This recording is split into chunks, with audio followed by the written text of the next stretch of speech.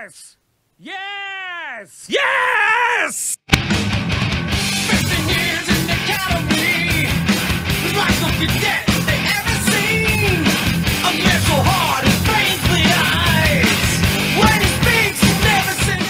No, no, no, no, no. Raspberry Ripple is the flavour of ice cream, not a fruit based torture method. Oh, hi! It's Sam here, and welcome to the 2000 AD First Look subscriber unbagging. Fluxub! Yes, today we've got Prog 2229.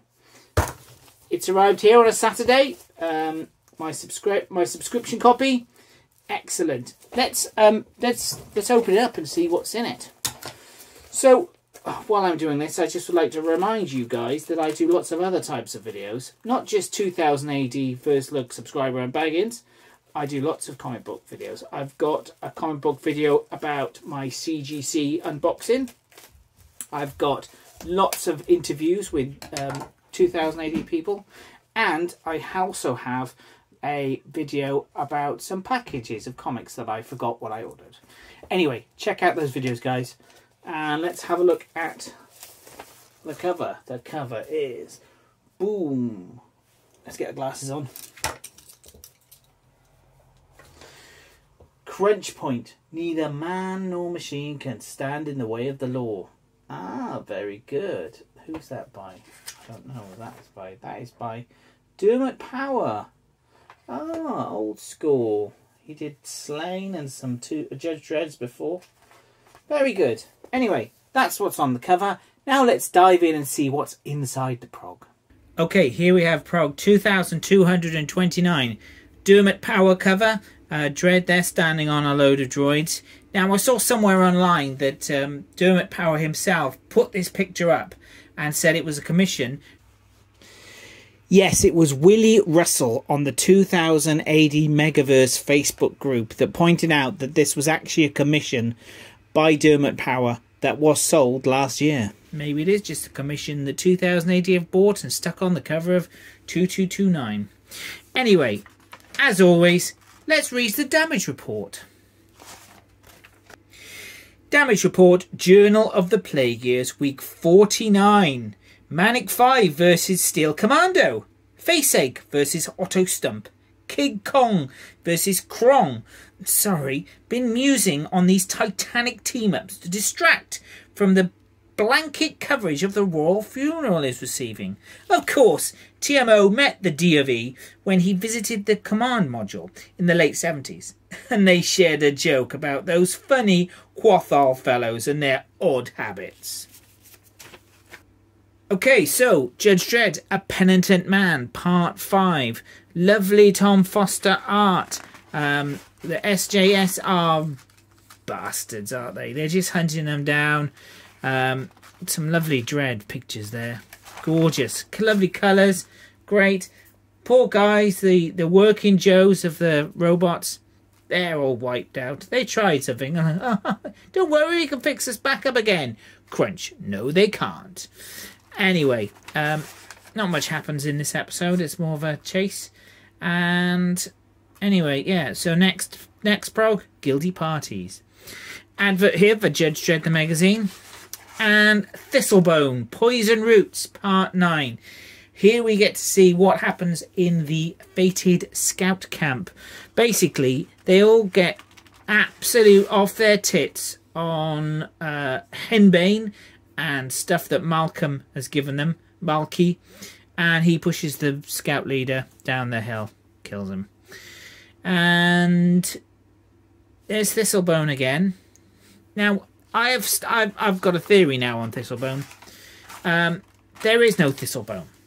There's no supernatural element at all. All occurrences and appearances of Thistlebone and anything supernatural are just drugs. This pro this whole story could just be called people get high on drugs and see weird shit. So that's what I'm gonna say. That's what I, that's my that's my guess. Thistlebone is just a story about people being drugged. Uh, Visions of the Dead World. Oh, look at this art. It's so grimy and dirty and gritty.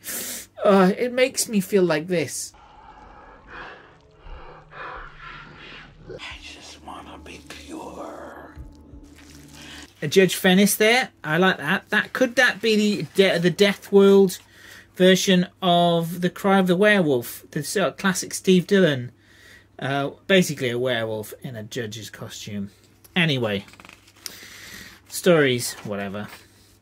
Now we have a future shock here by Mark McCain and Glenn Fabry.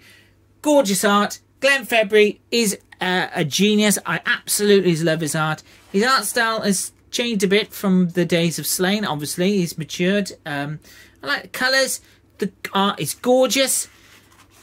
But I read this Future Shock a few times, and I tried to get my head around it. And there's some sort of vague thing about uh, behavior changes and and um, virtual reality, and this is okay. uh, And I went back and read it a couple of times and tried to work my head out, out of it, but I think I think it's a I think there's something wrong with the script because she's Janet, right? This uh, girl she's had the memories of implanted into her head.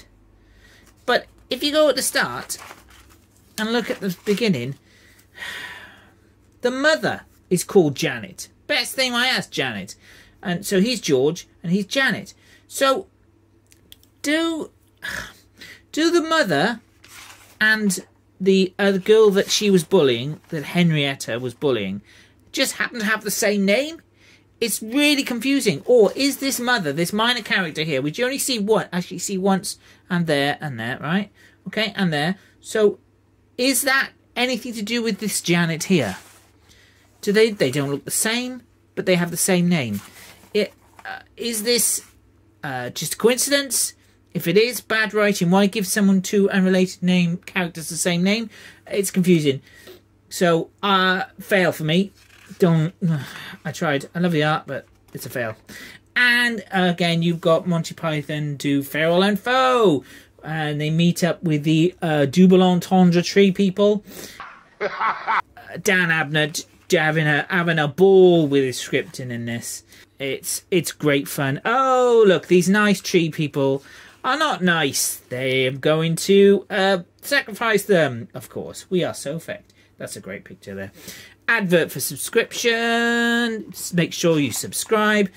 And the back you've got uh, Savage. Some great stuff. I do like this Savage storyline. You've got the classic one from the early progs. Then you've got uh, Charlie Adlard doing some art there, and Patrick Goddard doing the later ones. Uh, yeah, I do like Savage. Anyway, there we go. That was Prog 2229.